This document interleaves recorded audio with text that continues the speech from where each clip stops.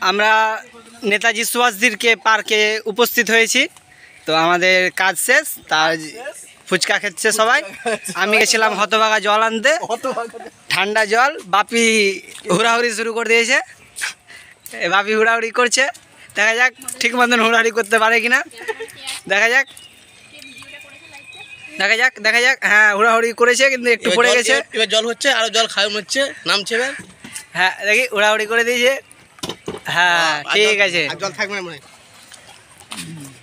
তো